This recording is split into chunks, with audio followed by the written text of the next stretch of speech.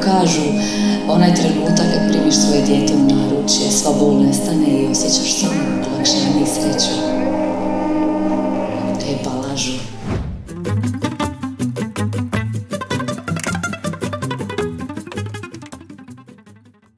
Možda je vrijeme da mu predložim da se upoznamo. Zašto on to meni ne predloži prvi? Ne znam. Moram biti poduzetna kao što jesam.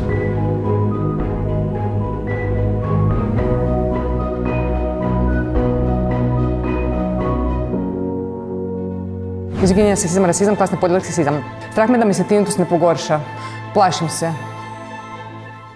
S razlogom se kaže, ne daj Bože da ti se dogodi što mama može pomisliti da ti se može dogoditi. A ja se istupim. Lop.